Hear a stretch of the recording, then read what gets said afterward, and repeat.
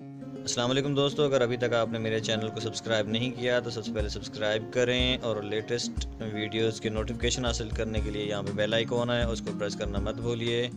Thank you so much let's